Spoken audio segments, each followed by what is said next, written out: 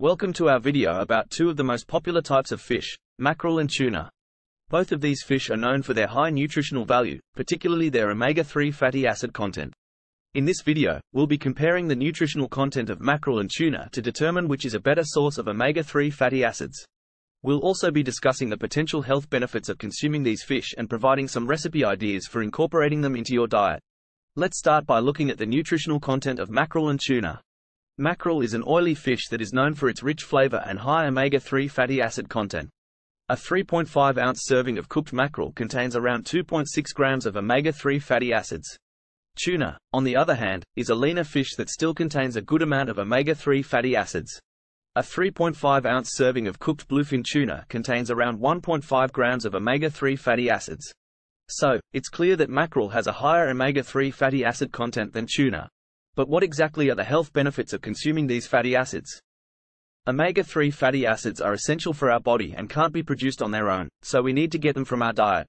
These fatty acids have been linked to various health benefits, such as reducing inflammation, improving heart health, and protecting against cognitive decline.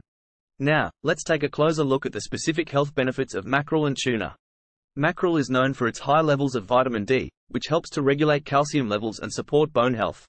It's also a good source of vitamin B12, which is important for brain function and the production of red blood cells. Additionally, mackerel contains selenium, which has been linked to improved immune function and a reduced risk of certain types of cancer. Tuna, on the other hand, is a good source of protein and contains various vitamins and minerals, such as vitamin A, vitamin D, and iron. Tuna also contains antioxidants, such as selenium and vitamin E, which can help to protect against cellular damage and support overall health. So, which fish is better for you, mackerel or tuna? Well, it depends on your specific nutritional needs. If you're looking to increase your omega-3 intake, then mackerel is the better choice. However, if you're looking for a lean source of protein with additional nutritional benefits, then tuna may be a better option. Now that we've discussed the nutritional content and potential health benefits of mackerel and tuna, let's move on to some recipe ideas. Mackerel is a versatile fish that can be grilled, baked, or smoked. One delicious way to prepare mackerel is by marinating it in a mixture of soy sauce, honey, and ginger, then grilling it until it's cooked through. Another tasty recipe is smoked mackerel pate, which can be served as a dip or spread on crackers. As for tuna, there are plenty of ways to incorporate this fish into your diet. One simple recipe is tuna salad, which can be made by mixing canned tuna with mayo, celery, and onions. Another delicious option is seared tuna steak, which can be seasoned with salt and pepper and cooked for a few minutes on each side until it's medium rare.